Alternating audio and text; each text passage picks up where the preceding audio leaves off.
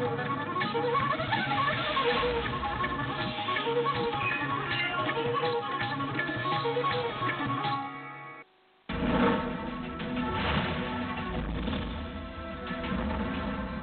देख रहे हैं नंबर वन प्रोग्राम, जनता मांगे जवाब। नमस्कार स्वराज एक्सप्रेस के खास प्रोग्राम, जनता मांगे जवाब में आपका स्वागत है। मैं हूँ एसपी त्रिपाठी। छत्तीसगढ़ में कोरोना के केसों में तेज़ी से इजाफा हो रहा है। मामले साढ़े तीन सौ के पार जा चुके हैं। दूसरी ओर क्वारंटाइन सेंटर में अब व्यवस्थाओं के चलते मरीजों की मौत बीजेपी को सरकार पर सवाल उठाने का मौका दे रही है। वहीं इन सब के बीच अब प्रदेश में भूपेश सरकार ने बड़ा प्रशासनिक फेरबदल भी कर दिया है। पचास से ज़्यादा आईएएस अफसर इधर से उधर हुए हैं। हालाँकि सरकार ने इसे रूटीन प्रशासनिक प्रक्रिया बताया है, लेकिन विपक्ष इसे अलग तरीके से लेकर सरकार पर पंच कस रहा है। बीजेपी के मुताबिक कोरोना संकट में जिला कलेक्टरों को बदलने से कुछ नहीं होगा। सरकार को क्वारंटाइन सेंटर्स में व्यवस्थाएँ बेहतर करनी होंगी। लेकिन सवाल यह है कि जब सरकार इसे समान प्रक्रिया बता रही है तो फिर बीजेपी का ट्रांसफ़र पर सवाल उठाना कितना जायज़ है? सवाल यह भी है कि त्रासदी के दौरान जंबो तबादले करने से क्या प्रशासनिक व्यवस्था पर नकारात्मक प्रभाव नहीं पड़ेगा?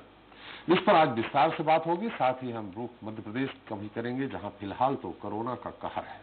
लेकिन जैसे ही हालात कुछ ठीक होंगे, वैसे ही राज्य की 24 विधानसभा सीटों पर उपचुनाव की जंग शुरू हो जाएगी। इस बार असली प्रतिष्ठा पूर्व मुख्यमंत्री कमलनाथ और कांग्रेस से बीजेपी में शामिल हुए ज्योतिरादित्य सिंधिया की दांव पर लगी है।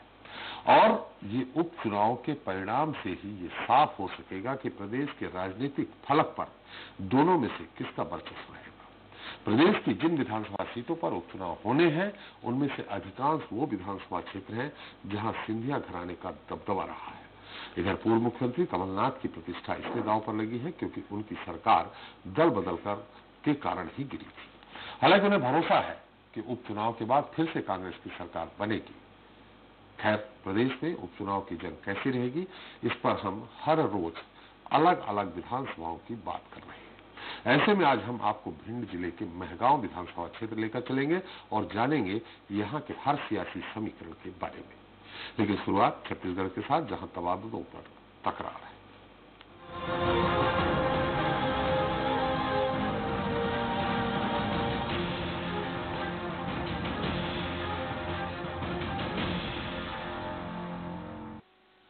तो छत्तीसगढ़ में भूपेश सरकार ने मंगलवार को 22 जिलों के कलेक्टर समेत एक साथ छप्पन आईएएस अफसरों के तबादले किए। वहीं बड़ी संख्या में हुए तबादलों पर विपक्ष ने तंज कसा है और सरकार पर आरोप लगाया है कि वह तबादला उद्योग चला रही है। विपक्ष ने कोरोना के बढ़ते मामलों के बीच तबादलों के औचित्य पर भी सवाल उठाए हैं। वहीं सरकार ने इसे एक रूटीन प्रशासनिक प्रक्रिया बताते हुए विपक्ष के आरोपों को सिरे से नकार दिया है। इसी विषय पर विस्तार से चर्चा करें। चलिए उसके पहले हम दिखाते हैं आपको एक छोटी सी छत्तीसगढ़ में कोरोना कहर के बीच बड़ी संख्या में अधिकारियों के तबादले। 22 जिलों के बदले गए कलेक्टर। कई जिलों के जिला पंचायत सीईओ भी बदले। मंत्रालय में पदस्थ आईएएस अधिकारियों के प्रभार में भी बदलाव। बड़ा सवाल, ट्रांसफ़र पर बीजेपी का सवाल उठाना कितना जायज़?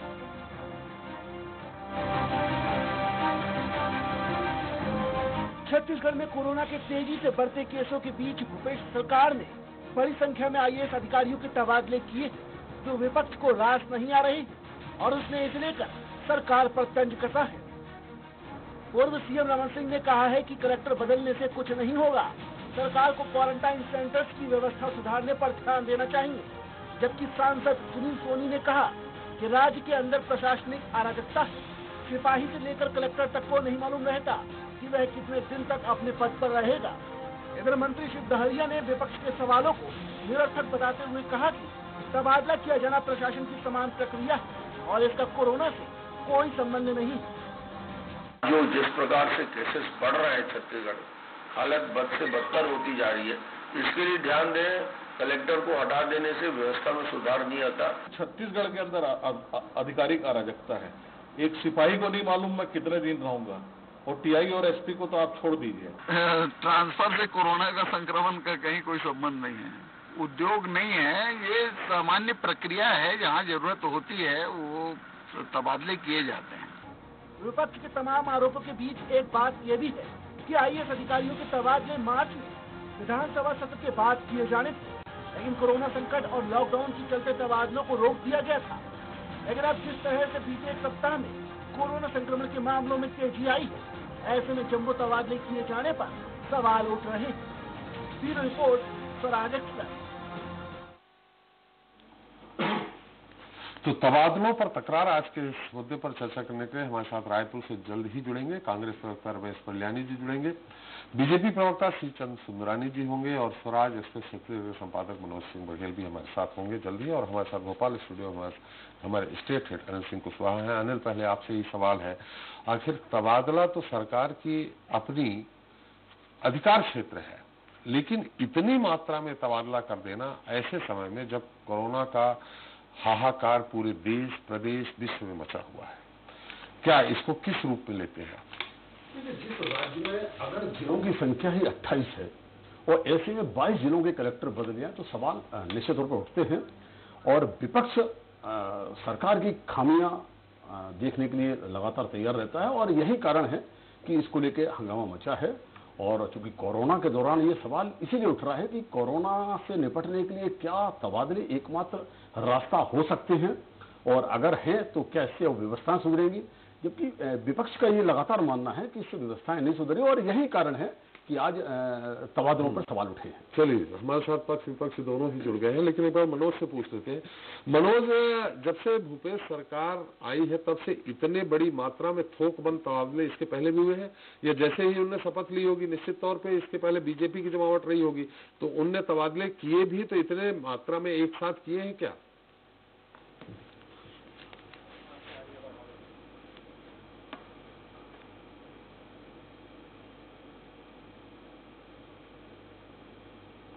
मनोज मेरी आवाज़ आ रही? जी जी चलिए सुधरानी जी बल्यानी जी आपका बहुत बहुत स्वागत हमारे इसमें। मनोज मैंने सवाल ये किया था कि जब से भूपेश सरकार आई है बीजेपी की सरकार गई भूपेश सरकार ने शपथ ली उसके बाद से अभी तक क्या इतनी बड़ी मात्रा में एक साथ आईएसओ के थोकबंद तबादले हुए हैं क्या?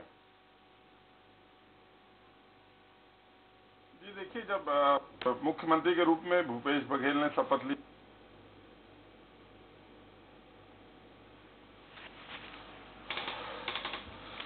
तकनीकी कारणों से हमारे बार फिर मनोज जी से संपर्क छूट गया है।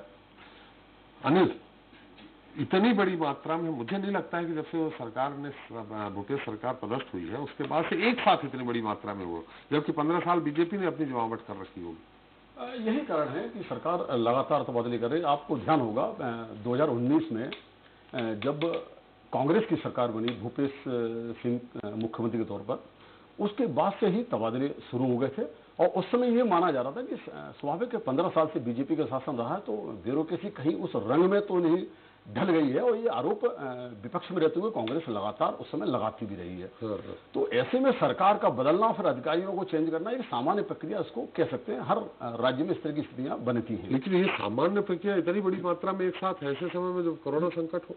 इसी इसीलिए अब सवाल खड़े होने लगे क्योंकि साल भर सरकार को अब समय मिल गया काफ़ी लगभग दो साल हो गए हैं और अब तो सरकार को जवाब का पूरा मौका मिल चुका है। अब जब कोरोना की महामारी फैली हुई पूरे देश भर में सभी लोग चिंतित हैं और पूरा स्वास्थ्य महकमा परेशान है। ज़िले स्तर पर पूरी मॉनिटरिंग की काम चल रहे हैं और ऐसे में कलेक्टर का अचानक बदला जाना और इतनी संख्या में मैं कहा ना अट्ठाईस ज़िले हैं छत्तीसगढ़ में और 22 जिलों के कलेक्टर बदल जाए तो आप अंदाज़ा लगाइए किस तरह की स्थितियाँ बनेंगी। क्योंकि नया अधिकारी आएगा, नई चीज़ों को नए तरीके से समझेगा। स्वाभाविक एक दो दिन तो उसको लगेंगे तो यही कारण है, विपक्ष लगातार अब आरोप लगा रहा और हल्ला बोल दिया। पिछली बार भी ये आरोप लगे थे, लेकिन अब एक साथ पचास से ज़्यादा अफसरों के तबादले पीएचक्यू में भी भारी भारी फिर बदले इंटेलिजेंस के एडीजी को चेंज कर देना, ये कहीं ना कहीं बताता है कि सरकार ने पूरी तैयारी के साथ ये तबादले किए हैं। हालाँकि विपक्ष कहता रहा है कि मुख्यमंत्री समन्वय समिति बनी हुई है, उसमें इन बातों को नहीं ले जाया जा रहा। है उनमें अगर इन बातों को ले जाया जाए तो पारदर्शिता आ सकती है इस तरह के आरोप विपक्ष के लगाते रहे विपक्ष। लेकिन अनिल, इसके पहले विपक्ष ये आरोप लगा रही, क्वारंटाइन सेंटर में व्यवस्थाएँ नहीं है, लोग सांप काटने से मृत्यु हो रही है, आत्महत्या कर रहे हैं। अब ऐसी स्थिति में व्यवस्था करने वाला कौन? आखिर उस ज़िले का कलेक्टर ही सबसे बड़ा होता है। उसकी अपनी जमावट होती है, उसके अपने निर्देश दिए जाते हैं कि आपको इस तरह की व्यवस्था करनी है। ऐसी स्थिति में एक तरफ़ आरोप लगा रहे हैं क्वारंटाइन सेंटर तो निश्चित रूप से भूपेश सरकार ने यही सोचा होगा कि कलेक्टर सही ढंग से काम नहीं कर पा रहे हैं तो उन्होंने सारे जितने भी कलेक्टर हैं, ज़्यादा से ज़्यादा कलेक्टरों को उन्होंने बदल दिया है। भूपे मनोज आपसे मैंने सवाल किया था इसके पहले कि इतनी बड़ी मात्रा में जब से सरकार भूपेश सरकार आई है तो इतने बड़ी मात्रा में एक साथ है। प्रशासनिक सर्जरी की है क्या? थोक बंद तबादले किए हैं क्या? देखिए सरकार बनते ही एक बड़ी प्रशासनिक सर्जरी हुई थी लेकिन वो भी इतनी बड़ी नहीं थी। स्वाभाविक तौर पर पंद्रह साल पर यहाँ पे भाजपा की सरकार थी।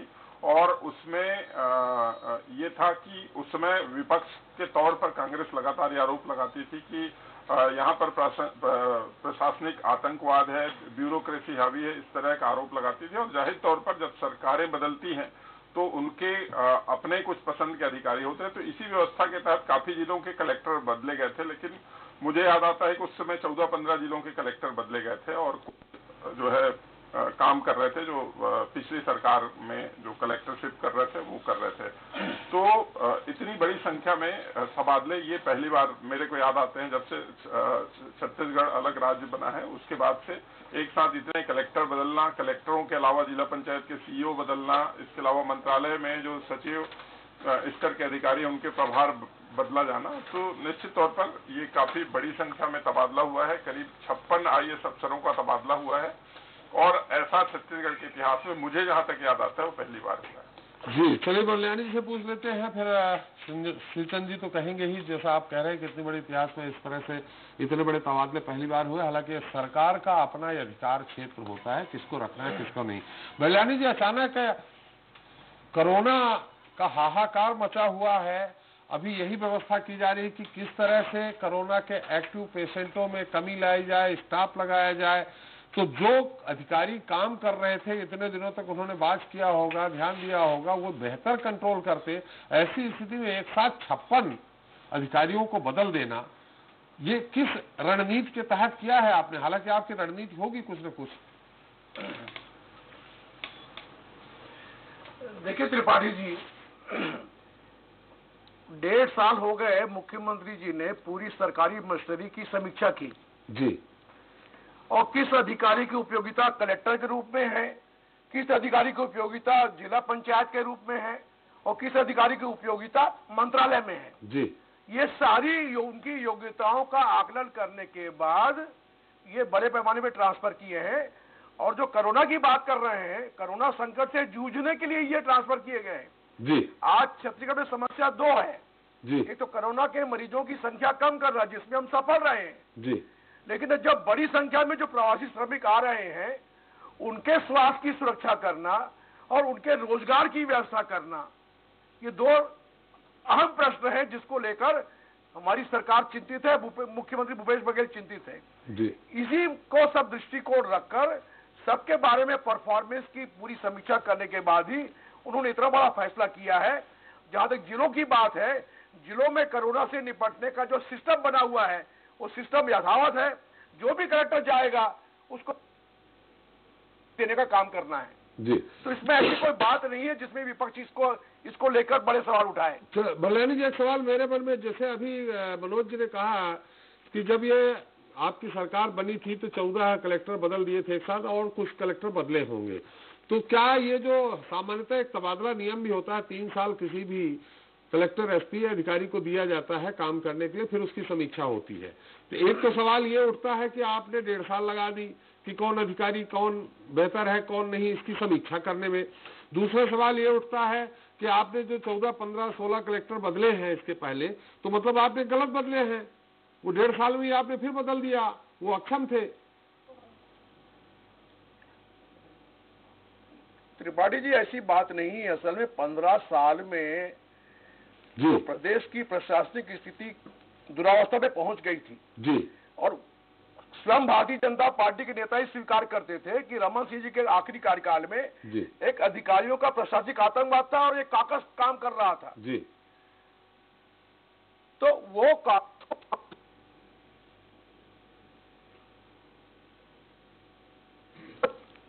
जी जी जी।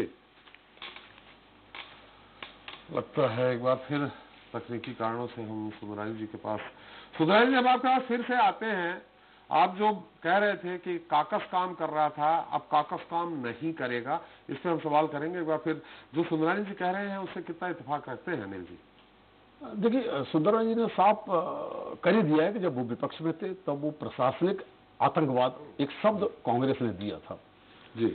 लेकिन अब राज्य में कांग्रेस की सरकार है तो उम्मीद की जा सकती जब विपक्ष में के रूप में रहते हुए कांग्रेस ने जो देखा था कि किस तरह अधिकारी गड़बड़ियाँ कर रहे हैं किस तरह उनकी अक्षमता नज़र आ रही थी तो उम्मीद जनता को यही थी कि वो व्यवस्थाएँ सुधारी जाएँगी।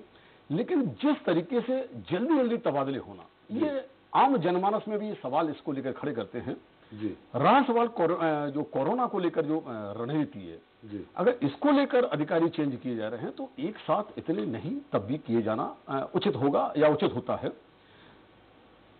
छह सात या दस दस करके अगर अधिकारियों को चेंज किया जाता तो मुझे लगता है कि विपक्ष को अ, ये कहने का मौका नहीं मिल पाता या विपक्ष जो आरोप अब लगा रहा है उस आरोपों से कांग्रेस बच सकती थी कांग्रेस सरकार। बिल्कुल। लेकिन जैसे हमने उनसे सवाल किया सुंदर बरलियानी जी ने ये कहा कि हमने डेढ़ साल तक समीक्षा की कौन अधिकारी बेहतर है कौन नहीं। तो साढ़े तीन साल में अब काम सारे कर लेंगे समीक्षा में इतना समय लगा दिया। हाँ, डेढ़ साल अ, से भी ज़्यादा समय हो गया। मुझे लगता है कि ये इस जवाब को बलियानी जी ज़्यादा स्पष्ट करेंगे। लेकिन आप देखिए बीजेपी शासन जो पंद्रह साल रहे उसमें जो अधिकारी पर आरोप लगते रहे। उनको भी देखना हो, वो अधिकारी क्या अब पूरी तरह लूप लाइन में पड़े हुए हैं या उनमें से कुछ नई सरकार के साथ एडजस्ट एडजस्टमेंट के साथ अपनी अपनी भूमिका में आ चुके हैं। ये अगर होता है तो बीजेपी को और एक हमला करने का मौका मिल सकता है। और सरकार हमले का मौका न दे तो ऐसे में थोक तबादले के लिए मनोज फ़ोन लाइन पे जुड़ गए हैं। मनोज जैसा कि बरलियानी जी बोल रहे हैं कि समीक्षा की भूपेश सरकार ने कौन अधिकारी बेहतर है कौन नहीं है तो डेढ़ साल समीक्षा में लग गए मनोज जी। तो अब साढ़े तीन साल जब पाँच साल के लिए जनता ने चुन के भेजा तो डेढ़ साल अधिकारियों के डेढ़ साल से भी ज़्यादा समीक्षा में लग गए। इसके अलावा जो बलियानी जी से मैंने पहले सवाल किया था कि आपने जो पंद्रह सोलह कलेक्टर बदले थे उनको सामान्य तौर पे तीन साल का समय दिया जाता है काम करने का। उनको डेढ़ साल में ही चलता कर दिया। तो कुछ न कुछ कारण तो होगा। निश्चित तौर पर जो सरकार ने इस संबंध में जो है, आज कुछ मंत्रियों से हमने बात भी की। उनका यही कहना था कि परफॉर्मेंस की लगातार समीक्षा होती रहती है और सभी को चेतावनी, समय समय पर वीडियो कॉन्फ्रेंसिंग से मुख्यमंत्री, जो है कलेक्टरों की बैठक लेते हैं। उनको टारगेट दिया जाता है टास्क दिया जाता है। और वो उसको कितना पूरा कर पाते हैं इस आधार पर उनका परफॉर्मेंस सीट बनता है। और यही कारण है कि मंत्रियों की ओर से जो बात बताई गई है, वो ये कि मुख्यमंत्री ने सभी कलेक्टरों के कामकाज की समीक्षा की, किन जिलों में शासकीय योजनाएँ सही ढंग से पहुँच रही, किन जिलों में नहीं पहुँच रही है। छोटे जिलों के यदि कलेक्टरों ने अच्छा परफॉर्म किया है तो उनको प्रमोट करके बड़े ज़िले देना था। तो इस तरह की एक पूरी व्यवस्था पे काम किया था और उनका कहना है कि लंबे समय तक जो है ऑब्जर्वेशन के बाद जो है उनका परफॉर्मेंस जांचने के बाद ये व्यवस्था बनाई गई और उन्हें जो है नए तरीके से पोस्टिंग दी गई है जिससे आने वाले जो बचे हुए समय हैं उसमें ये बेहतर परफॉर्मेंस करें। एक सबक भी जो नए लोग जिनको कलेक्टर बनाए गए कई लोग वेटिंग में थे। दो, 2008 बैच के अ, 2007 बैच के लोग अभी तक कलेक्टरशिप नहीं पाए थे। ये और भी दूसरे कारण बताए गए कि कुछ लोग जो बैच छूटा हुआ था जिनको अभी तक जो है कलेक्टर नहीं बनाया गया था उनको भी एडजस्ट करना था। तो इस तरह की बातें जो है मंत्रियों की तरफ़ से बताई गई है लेकिन जैसा कि सवाल जो विपक्ष उठा रहा है और एक पत्रकार होने के नाते हम भी उठा रहे हैं वो यही कि एक साथ इतनी बड़ी संख्या में बदलने के पीछे की स्थिति जो है और खासतौर पर ऐसे समय में जब पूरे शासन और प्रशासन में बैठे हुए लोग कोरोना के संक्रमण को रोकने के लिए जो है दिन रात मेहनत कर रहे हैं। बिल्कुल मनोज आज आज हमारे और आपके बीच में बल्याणी जी के सुमरानी जी के बीच में जो संपर्क हो रहा है उसमें कोरोना का ग्रहण लग गया है। तकनीकी कारण से हम उनसे बात नहीं कर पा रहे हैं। बल्याणी जी से अगर संभव हो तो मेरी बल्याणी से बात करा दे। फिर बल्याणी जी आवाज़ आ रही है। जी तो बल्याणी जी बल्याणी जी जैसा कि मनोज जी ने भी सवाल किया है ऐसे समय में डेढ़ साल आपने समीक्षा में लगा दिया तो अब काम कब करेंगे? और जिन लोगों को पहले कलेक्टर बनाया था उनको वापस ले आए ज़्यादातर लोगों को। तो क्या वो सक्षम नहीं थे? देखिए त्रिपाठी जी जी। प्रशासन में समय समय पर हर अधिकारी के काम की समीक्षा होती रहती है। जी। ऐसा सक्षम और सक्षमता नहीं है। जी। हमारे मुख्यमंत्री भूपेश बघेल जी रिज़ल्ट चाहते हैं। जी। हमको सरकार पंद्रह साल बाद कांग्रेस पार्टी को मौका मिला है तो हम चाहते हैं कि जो हम जनता के लिए हमारे कमिटमेंट्स हैं उनको पूरा करने के लिए ब्यूरोक्रेसी में जो होना चाहिए ऐसे ब्यूरोक्रेट को ही वहाँ रखा जाए जिनकी जहाँ जहाँ उपयोगिता है। कुछ लोग की उपयोगिता मंत्रालय में है विषय वस्तु के लिए वहाँ भेजे अब। जैसा अमिताभ जैन जी को पीडब्ल्यू से हटा के एजुकेशन में दिया है जी। उसके पीछे बड़ा कारण है कि बोध घाट परियोजना हमारी बहुत बड़ी प्रोजेक्ट है। जी। और अमिताभ जैन बहुत काबिल अफसर है। जी। तो ऐसे अनेक उदाहरण आपको मिलेंगे जी। कि हर अधिकारी की क्षमता का अधिकतम उपयोग हो सके। उस दृष्टिकोण को लेकर भूपेश बघेल जी ने किया है।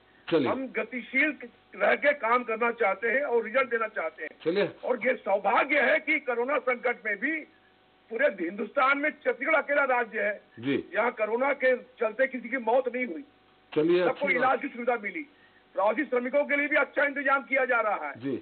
अब बाकी राज्यों की तुलना में देखेंगे छत्तीसगढ़ का इंतज़ाम सबसे अच्छा है। जी। उनको भोजन नाश्ता पानी सब समय पे मिल रहा है।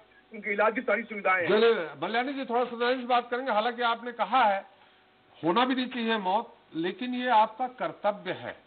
ये इस पे आपको गर्व नहीं होना चाहिए। कर्तव्य है आपका कि किसी भी मरीज़ सरकार का कर्तव्य होता है कि किसी भी मरीज़ की मौत न हो। जी सुंदरानी साहब निशिफ हम आ, आ गए हैं कोरोना का ग्रहण समाप्त हो गया है आप चाहे तो फ़ोन रख दें नीचे हम सीधे से बात कर सकते हैं।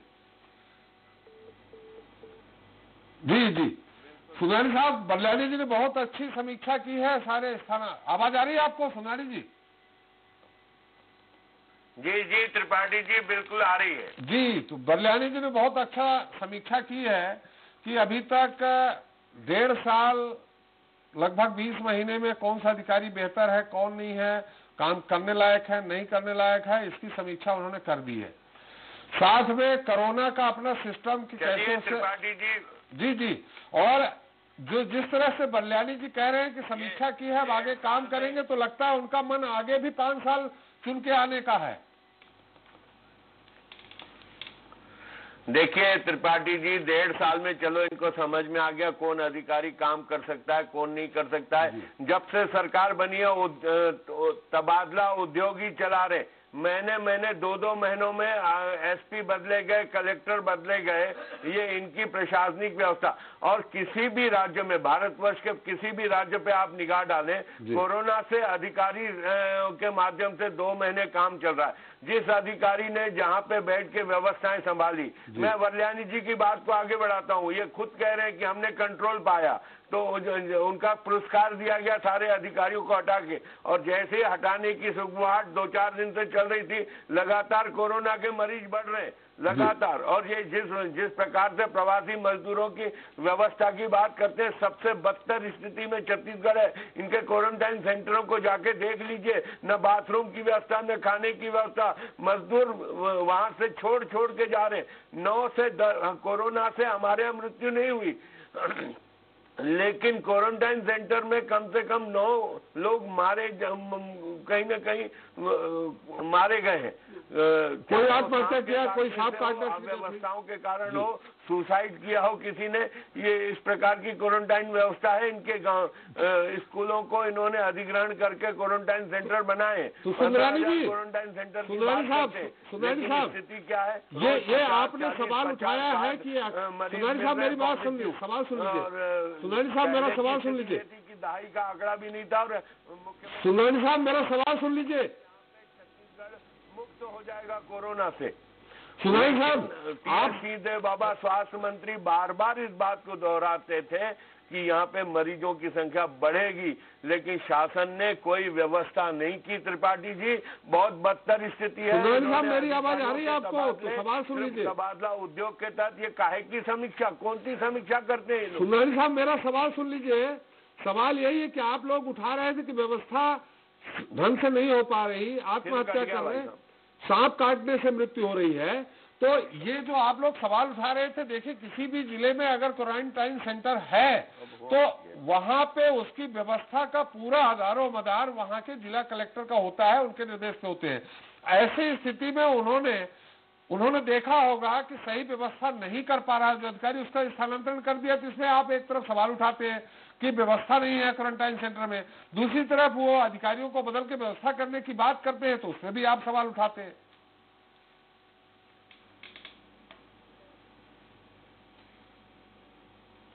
चलिए, एक बार फिर दूरभाष में जुड़ने का प्रयास करेंगे हम। अनिल, एक तरफ़ विपक्ष तो विपक्ष है। एक तरफ़ कहती है व्यवस्था नहीं है, दूसरी तरफ़ अगर व्यवस्था बनाने के लिए सरकार कोई कदम उठाती है तो उस पर भी सवाल खड़ा होता है। देखिए विपक्ष का काम ही है कि सरकार की बारीक चीज़ों पर या बारीक निर्णय पर नज़र रखना। और मुझे जहाँ तक पता चल रहा है कि छत्तीसगढ़ ऐसा है जहाँ सत्ता पक्ष भी काफ़ी मज़बूत और होशियार है। और विपक्ष भी उतना ही मज़बूत और दो तिहाई बहुमत हाँ। लेकिन होशियारी, वहाँ वहाँ इतना विश्लेषण के बाद, इतना अध्ययन के बाद अगर सरकार के निर्णय पर सवाल अगर उठा रहे तो सरकार भी निश्चित तौर पर जब चलिए, एक मिनट सुंदरानी जी अपनी बात कर। सुंदरानी साहब, एक तरफ़ आप कहते हैं कि क्वारंटाइन सेंटर में व्यवस्था नहीं है। मैंने सवाल किया था, अगर क्वारंटाइन सेंटर में सही ढंग से व्यवस्था नहीं हो जाती तो उसको सारो दारो मदार। अब व्यवस्था का पूरा जिम्मा किसके ठीक किसके सर ठीकरा फूटता है? कलेक्टर के। क्योंकि उन्होंने सही ढंग से जमावट नहीं की, सही व्यवस्था नहीं की। अब ऐसी स्थिति में कलेक्टर और प्रशासनिक अधिकारी जो राज्य प्रशासनिक अधिकारी भी हैं, उनको अगर सरकार बदल करके व्यवस्था ठीक करने का प्रयास कर रही है तो इसमें भी आप सवाल उठा रहे हैं। सुनाई साहब, मेरी आवाज़ आ रही?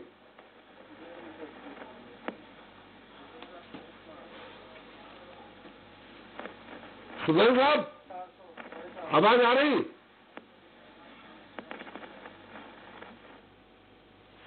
लगता है आज वाकई में कोरोना का कहर हमारे स्वराज एक्सप्रेस की लीज लाइन पे हो गया है।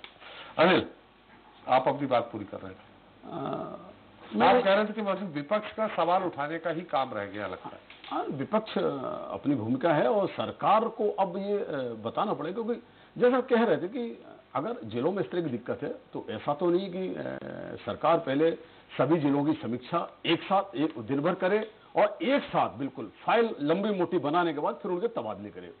बनस्पत इसके अगर ज़िले वाइज समीक्षा करते अगर लगता कि अधिकारी यहाँ गलत है तो उस ज़िले में उस अधिकारी को चेंज करते जाते तो उसका मैसेज अगले ज़िले के जो अधिकारी है, उनको अच्छा मैसेज जाता कि भाई सरकार सख्त है। लेकिन आपने अगर एक साथ सारे 22 जिलों के कलेक्टर 28 में से बदल दिए तो इसका मैसेज किसको संभालने के लिए दिया? तो ऐसे में यही कारण है कि विपक्ष सवाल उठा रहा है और सरकार अब ये बताने की कोशिश कर रही है कि वो जो तबादले हैं सामान्य प्रक्रिया के तहत हुए हैं। तबादला नीति भी बनी हुई है हर सरकार की तबादला नीति होती है छत्तीसगढ़ की भी तबादला। नीति का पालन कितने लोग करते हैं? कितनी सरकारें करती है? यही तो एक बड़ी विडंबना मानी जाती है राज्यों की कि तबादला नीति बनती तो है और बड़ी अच्छी बनती है जनता को बताई भी जाती है अधिकारियों को भरोसा भी दिलाया जाता है। लेकिन उसके अनुरूप तबादले होते हैं, ये एक बड़ा सवाल है। इस पर प्रशासनिक आयोग भी जो भारत सरकार के बने थे या राज्यों, उनकी रिपोर्ट्स भी पेंडिंग पड़ी हुई हैं। इसीलिए ये आरोप बीच में लगते रहते हैं कि प्रशासनिक आतंकवाद कांग्रेस ने रहते हुए, विपक्ष में रहते हुए लगाए थे। यही आरोप अब मौका बीजेपी को मिला है। वो लगा रहे चलिए, आज कोरोना के कहर ने हमारे इस पूरे प्रोग्राम में अपना कहर ढा दिया है।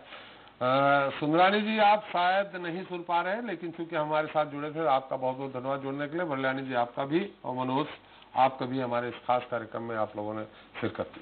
तो कलेक्टरों के तबादले को सरकार भले ही रूटीन प्रक्रिया बता रही, लेकिन कहीं न कहीं इसके पीछे कोरोना भी बड़ी वजह है। जानकारी के मुताबिक इस महामारी से निपटने में बेहतर रिज़ल्ट न देने को अहम वजह माना गया है।